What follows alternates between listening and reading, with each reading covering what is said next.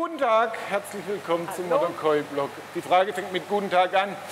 Im letzten Jahr habe ich auf Ihre Empfehlung hin einen Oase Profi Clear Premium Trommelfilter TF-L gepumpt mit 60 Sieb-Elementen gekauft und bin total begeistert. Bin ich auch. Ich war gestern bei Philipp Bucher.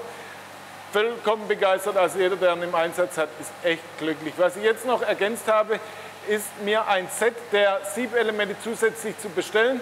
Denn als die Siebelemente im letzten Herbst schwer durchgängig wurden, geworden sind, hat das Reinigen Wasser mit Essigessenz doch einige Tage gedauert. So kann ich jetzt die Siebelemente einfach tauschen und die verstopften in Ruhe regenerieren. So wie ich das auch empfohlen habe. Für welche Einsatzzwecke sind denn Papierfilter von Vorteil? Denn der Aufwand, die gebrauchten Papierrollen zu tauschen, ist doch gegeben. Gruß aus dem Sauerland, Karl. Karl, es ist ganz einfach. Du hast einen trüben Teich, Du gehst morgen zu Köllitzow oder zu sonst irgendeinem, der Papierfilter von Genesis verkauft und du sagst, mein Teich ist trüb, gibt es irgendeine Lösung? Und dann sagt der Verkäufer, pass auf, nimm dir den Papierfilter von Genesis mit, schließen dir an und 24 Stunden später hast du kristallklares Wasser. Wenn eine UV-Lampe dabei ist, wenn du nicht allzu viel Kot, Sediment in dein, oder Sedimentbodengrund in deinem Teich hast, funktioniert es wirklich in 99 Prozent aller Fälle. Und ich brauche nicht großartig noch eine Abwasserleitung, dies, das, Expertensystem ist schwierig anzuschließen, irgendwas. Ein Papierfilter ist Plug and Play und das in atemberaubender Geschwindigkeit. Zumindest wenn die Pumpe so stark ist, dass der Teich wenigstens alle zwei Stunden, besser einmal pro Stunde über den Filter geschickt wird. Ja? Und dann bekommen die Leute in der Regel, ich sage immer, Papierfilter sind wie Heroin, damit wird angefixt und nachher, wenn die Leute mal richtig Spaß haben mit klarem Wasser und der Teigspaß beginnt nicht mit tollen Fischen, sondern der beginnt wirklich erst, wenn das Wasser auch schön ist. Ähm, und wenn die Leute dann mal ihre Fische in schönem Wasser sehen und Spaß haben, in ihren Teich zu gucken, dann machen sich der ein oder andere sagt, das Papierthema ist für mich überhaupt nicht schlimm. Ich brauche nur alle sechs, acht Wochen so eine Rolle, weil vielleicht der Besatz auch nicht so hoch ist, der Teich nicht so ähm, riesengroß oder der Papierfilter auch entsprechend groß dimensioniert ist für den Teich, dann sagen viele, die haben sich nie wieder von ihrem Papierfilter getrennt oder weil sie sagen, never change a running system. Was nicht kaputt ist, wird nicht repariert und nicht verändert. Die wollen dann gar nicht ran. Andere sagen, ja, das mit dem Papier ist mir zu viel Arbeit oder die Entsorgung oder sonst irgendwas muss nicht sein. Umweltaspekte, ein bisschen Greenwashing Garten, die bauen dann ihr System um. Ja?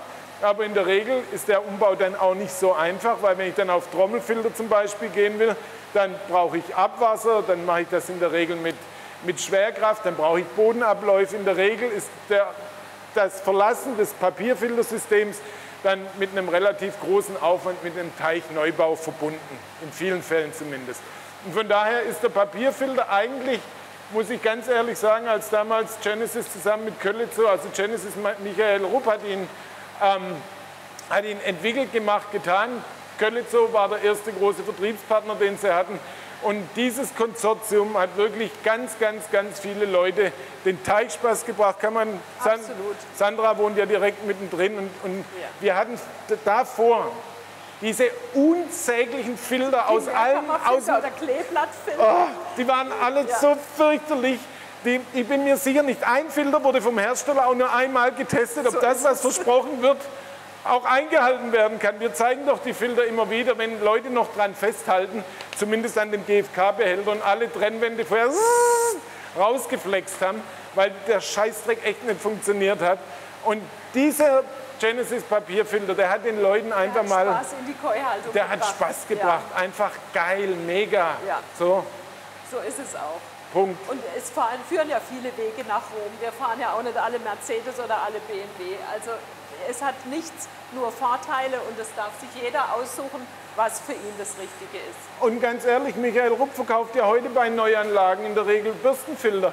Jetzt hat er noch seinen Trommelfilter, seinen Endlosbandfilter, seinen Papierfilter und Sie Gibt werden aber lachen. Die Zahl der Papierfilter, die Verkaufszahlen gehen nicht wirklich nach unten weil es immer noch so viele Leute gibt, denen ein Scheißdreck verkauft wurde, wo unglücklich sind. Oder die einfachen Teich haben. So ein Papierfilter, den stelle ich mal hin das nächste Gebüsch, ja, dann geht da ein Schlauch hin, dann geht irgendwo, wenn ich keine UV-Lampe drin habe, braucht das Ding ja nicht mal ein Stromkabel, ja, aber UV-Lampe brauche ich in der Regel. Ähm, dann geht da ein Schlauch hin, ein Schlauch zurück und ein Stromkabel für die UV-Lampe.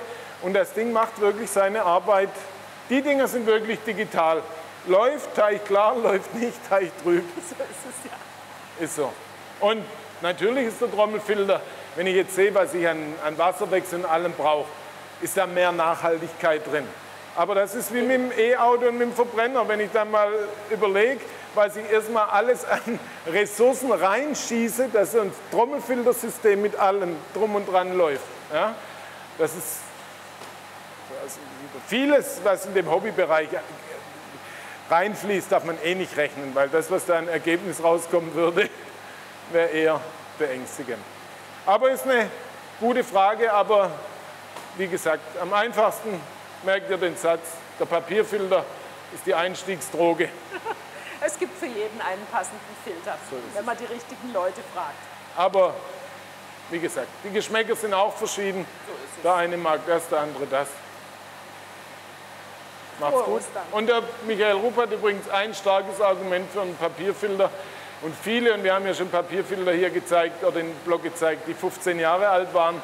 Jedes Mal, wenn eine neue Papierrolle eingelegt wird, ist der Filter im Prinzip in der Fabrik neu. Klar muss irgendwann mal Getriebe und so getauscht werden, man braucht einen Kundendienst wie bei jedem anderen Filter. Aber das, mit dem du zum Beispiel zu kämpfen hast und was meines Erachtens diese fehlervorbeugende Instandhaltung, die macht halt bei den Trommelfiltern kaum jemand, dieses Verstopfen der Siebe. Kein Mensch macht sich Gedanken dazu, was das eigentlich für den Filter bedeutet, wenn plötzlich statt mit so einem Wasserstand durch den verstopften Sieb mit so einem Wasserstand gearbeitet wird, wie viel Kraft mehr auf die ganzen Lager, auf alles, auf Anlaufströme, die gebraucht werden, auf den Motor.